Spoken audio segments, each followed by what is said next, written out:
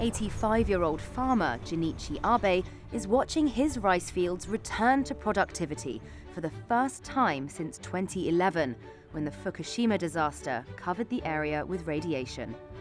The rice grown here has been deemed unsuitable for consumption due to health worries. But now he has a steady buyer again.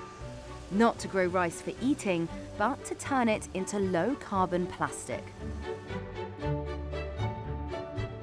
少しでもあの、えー、プラスチック廃プラに協力できたらいいなというそれともう一つは波町復興のためにね、あのー、少しでも役立ちたいなということであのみんなと相談しながら、えー、バイオマスと共にやろうということにしたんです。Abe's town of Namie is still struggling to recover from the 2011 disaster when a tsunami triggered a meltdown at the Fukushima Daiichi nuclear plant. Parts of Namie lie only two and a half miles from the plant, and some 80% of the town's land currently remains off limits.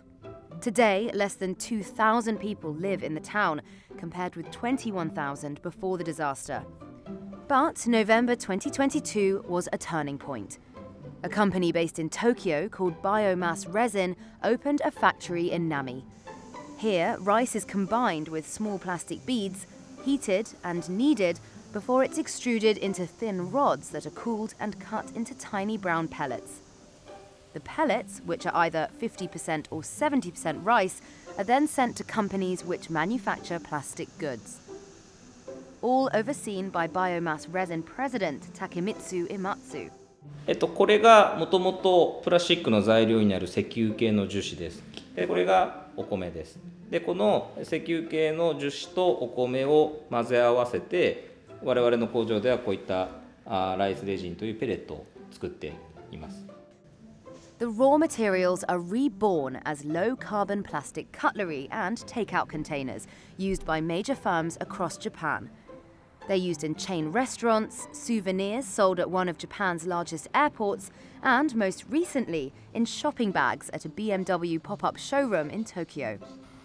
While the plastic isn't biodegradable, using rice cuts down on petroleum products, and growing more rice in Namie also reduces overall atmospheric CO2.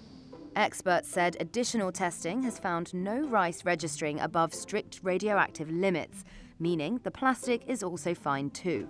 For the town of Namie, the revival of industry is vital.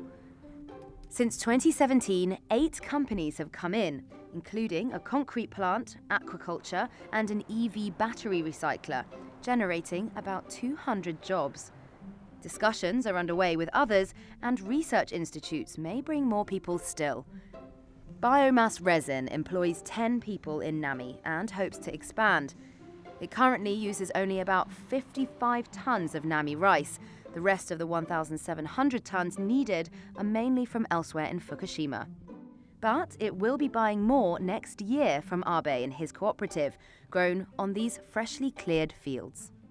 これからあの波マッチも何年かかるか分かりませんが、良くなると思います。